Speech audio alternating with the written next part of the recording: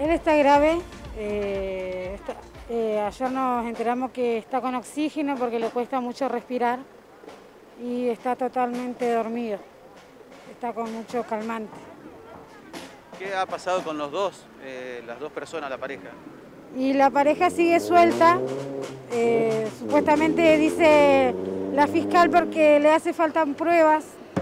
Lamentablemente no sé qué más pruebas quieren porque mi abuelo sigue mal, la está peleando. eh, están pidiendo un video de él hablando, no puede hablar directamente con esto. Está totalmente dormido. eh, y la fiscal está pidiendo pruebas, pruebas de los médicos. Bueno, los médicos no nos quieren eh, dar ningún certificado, que él todavía está internado. Así que bueno, estamos como que la policía dice que ya no puede hacer nada, porque ellos ya hicieron su trabajo, lo demoraron y por el tema de la jueza que no tenía pruebas, no tenía certificado, lo largaron. Siguen imputados pero libres, digamos. Siguen imputados pero libres eh, y no, no hacen nada. Algunos vecinos hablaban del miedo de que estos dos escapen.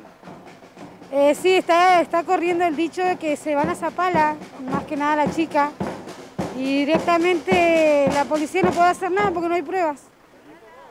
Eh, el miedo está. Eh, anoche habló la fiscal, el médico, el abogado de ellos, porque sin querer tienen abogados, y ellos dos eh, no se pueden acercar una cuadra de mi casa.